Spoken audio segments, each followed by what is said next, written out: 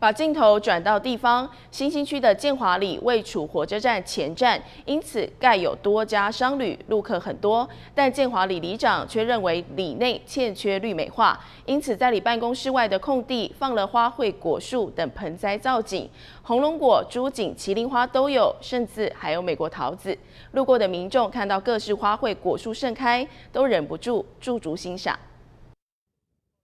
顺手抓起一颗桃红色的果实，新兴区建华里里长吴文清显得很兴奋，因为建华里一直以来缺乏绿地，现在凭借里办公室的努力，能找出一块小空地种各种不同的植物，实在很难能可贵。我上任之前之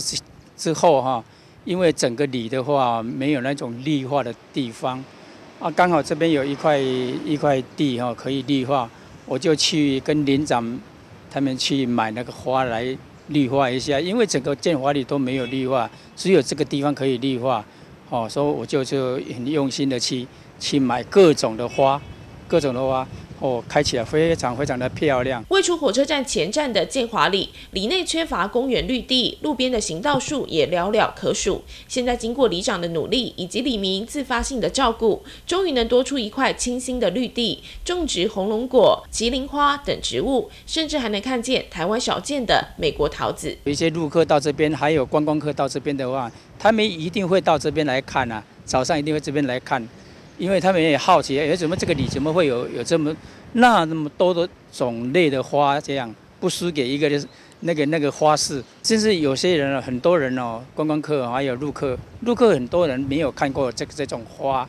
他会问，啊会问的话，我们就会跟他讲解。干脆我说弄个身份证，就让他们能够一看的话，就可以就可以认识这个。台湾的这个花，建华里里长吴文清看到自己发起的绿化邻里植栽成果，得到李明以及外地旅客一致的赞同与鼓励，更加坚定了要将里内绿地自发性扩充的决心。港都新闻黄子健、李正平采访报道。